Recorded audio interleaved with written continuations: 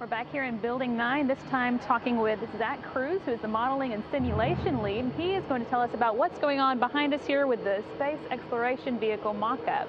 Thanks so much for joining us, Zack. It's my pleasure. Okay, so tell us a little bit about modeling and simulation, what that means, and what it has to do with this test.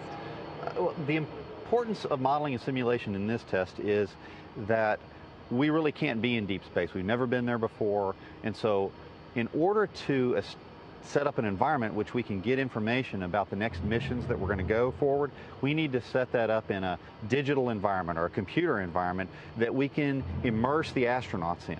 And so this is the space exploration vehicle mock-up that we have here. This is where two people are living for three days. That is correct.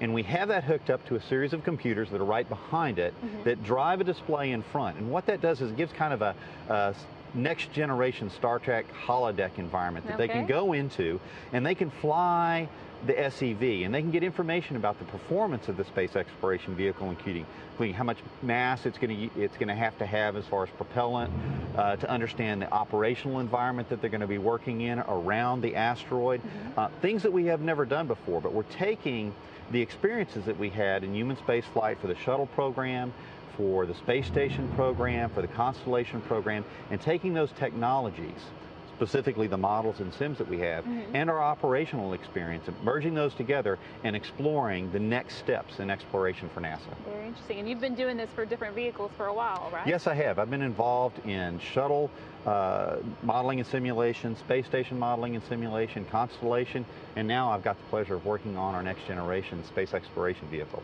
Definitely, definitely cool work.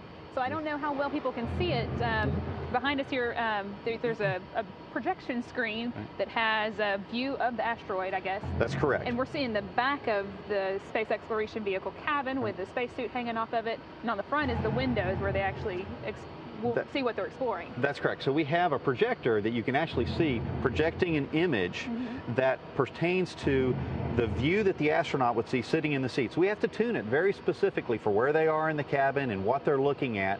And then we actually have a simulation that goes and reproduces the dynamics of the vehicle as they put in thruster commands, as they fly around the asteroid, that mm -hmm. gives them the perspective, including the digital readouts on the control systems, mm -hmm. so that they can understand how they want to go about flying and investigating an asteroid. So as they simulate flying the rover around, even though we're not seeing it moving, the That's picture right. in the window is moving. Right. So they think they're moving, uh -huh. even though it's a fixed base here. They think they're moving because every input they they put into the system mm -hmm. results in a change in the view out the screen. Mm-hmm. We have the same environment environment that we have here on the flat floor, we can also do in a big dome environment that we have over in Building right. 16 here at JSC. Right, and we've taken the, the um, previous generations of the rover out to, to the field on wheels, Correct. but obviously wheels don't work on a natural. Right. It, it, the, the difference is, is that when you're out in the field, you're really limited to two dimensions. There's a little bit of terrain, mm-hmm. but here it's a very much a six-dimensional environment.